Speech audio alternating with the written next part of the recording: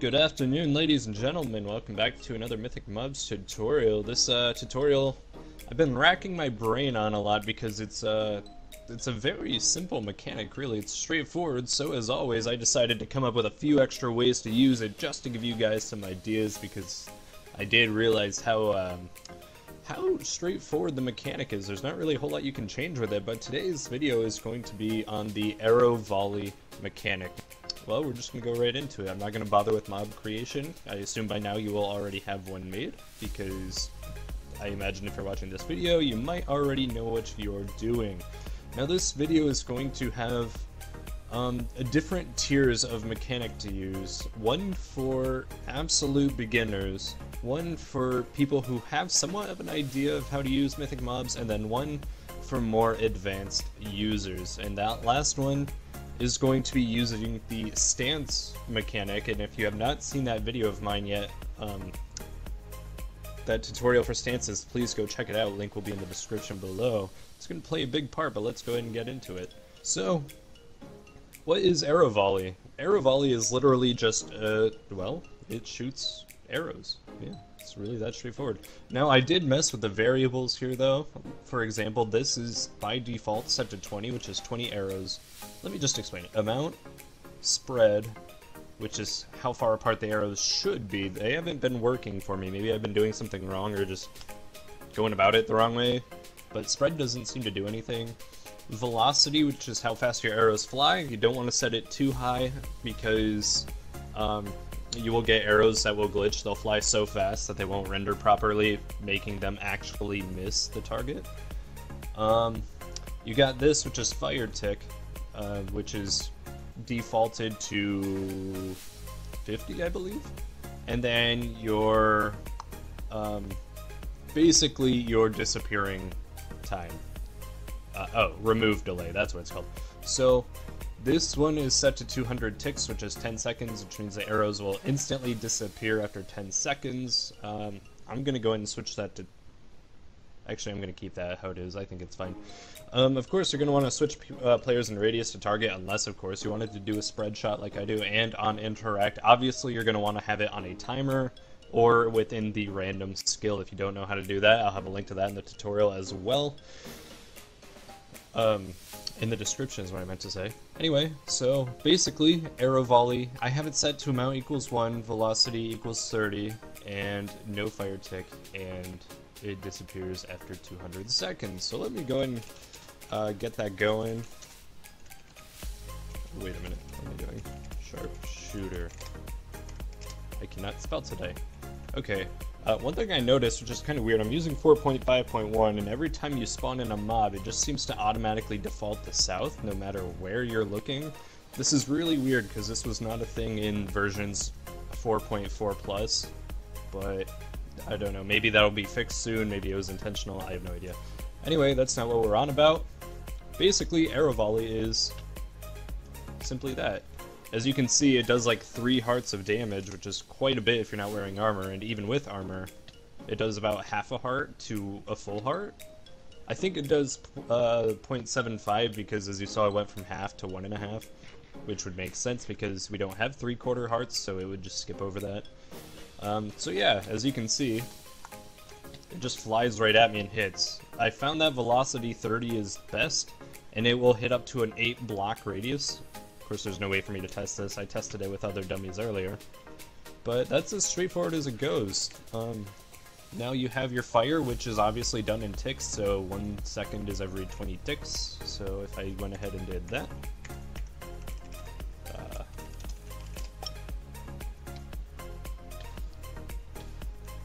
Okay, maybe it, maybe it's in seconds. No, that was that was rather odd. That should not have lasted as long as it did. Regardless, um, that's what that is. I guess that's just something you'll have to play around with it, um, you know, to your liking. Next, we're going to go on to the more intermediate skills. First one, Arrow Barrage. It's pretty straightforward. It's basically just a meta skill. Um, again, you're going to want to change this. Uh, let me go ahead and change this to players so that way it'll target me here. Okay, of course you're going to want to change this to target or players in radius if you want it to attack all players.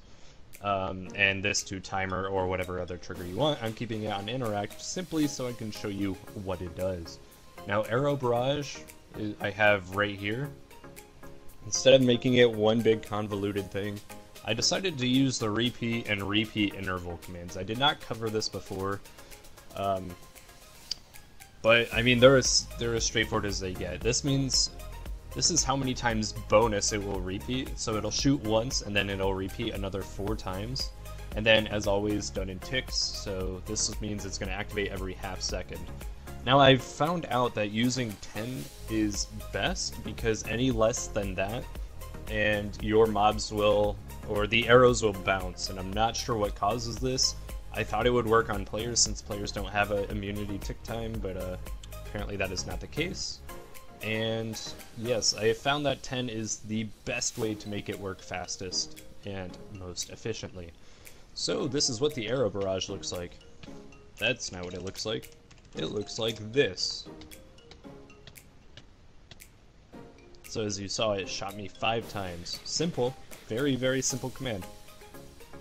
Next is Quick Shot.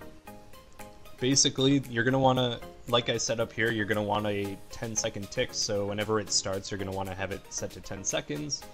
This basically makes it to where whenever the mob hits you, as you can see on hit, um, it will shoot another set, or another arrow. Now you can set it to do arrow barrage too, but then you're going to want to have a big cooldown on it because otherwise he'll just constantly keep shooting you. Unless, of course, he misses, but if he's shooting at a velocity of 30, the odds are very low that he will. So, anyway, as I was saying, it's important to have a cooldown, though, um, just so that way it won't keep activating constantly. Uh, I found 20 seconds works best because by the time it covers the 8 block distance at a velocity of 30, only 1 second will have passed, generally. So it won't be able to activate again if it does hit you. So basically, it this is what it looks like. And it is not working. I messed up something somewhere. Ah, my bad. Okay, so in order for that one to work, you do have to have your base arrow volley or whatever else you decide to use. Uh, say you have a skeleton archer, um, you can you can just you don't even need to have this because they shoot arrows on their own anyway. Um, yeah, so he'll just do another one on hit. Now, this is what it'll look like. As you can see, he just shot another one fairly quickly right afterwards. And as you can see, even when I'm running around, he like doesn't miss me at all. So, except for that time. But yeah, that's that's how you could do a second shot with it if you wanted to every once in a while. Or if you really didn't want it to be on cooldown, you could set it to zero, and then what you could do is add a modifier to it. So like right now, it has a 30% chance to activate the skill upon hitting me. So, as you can see, yep, there it is. Sometimes he shoots a second one. Uh, yeah. So sometimes he does, sometimes he doesn't. You can do it that way. I think it keeps it rather random and is a good way to uh, keep players, you know, a little bit on edge. So that's how you would do a quick shot type style uh, use of the arrow volley. That probably didn't make much sense. I'm getting my words a little jumbled and I apologize. So now we're getting on to the more advanced stuff. Again, this is going to require stances, so if you have not checked out my tutorial for that, please do. It'll be in the description below as I've mentioned before. Basically what I have here is one called Poison Barrage. It's basically the Arrow Barrage, but a little bit different. So what it does is it sets the stance on the mob to poison, and then it'll do an arrow volley. After that, it uses the quick shot mechanic, how this goes on hit. This is on, on attack is basically on hit, it's like the same thing. Um, so within the three seconds that the stance is active, it will poison you, which is down here, because as you can see, set stance, poison, stance equals poison, and I do not have any sort of percentage modifier, which means it will always happen, but you are welcome to change that if you so choose. But this is how I have it set up. Now you're going to want to make sure you set the stance to a different one, it doesn't matter what you call it, um, at the end of this, because otherwise he'll keep poisoning you constantly because his stance will never change. Um, and it's also very important to make sure you have a stance set to whatever this is, so that way it doesn't constantly poison players upon hitting them. So, with that being said, this is what it will be like.